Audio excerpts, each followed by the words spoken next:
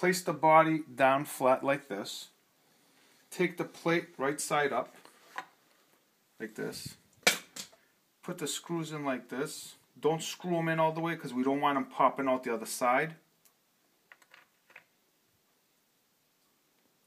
This. Okay. Stand it up like this. Like this.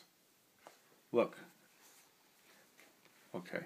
They don't come out this side. So. Next.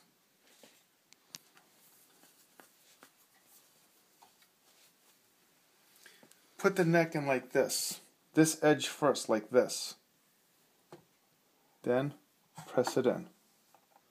Hold it viced, like this, with your thumb in your hand. Press it down.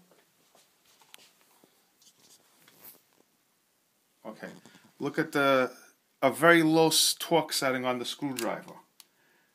This one first. Just stop. No, don't go. Don't tighten it up. Just very loosely. Actually, go to this one. Very loose. No torque. Okay. Then you go to this one. Then this one. Okay. Now, get a regular screwdriver like this. Very low torque setting. Just a little nudge, you know, just I felt it touch, now a little half turn like that.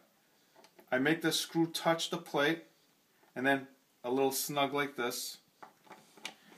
A little snug.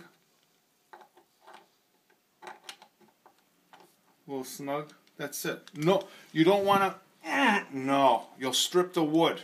Just a little. Eh, perfect. So now we're ready to put the strings on. It's already intonated. I said I already set the tension of the springs, and you're done. Voila.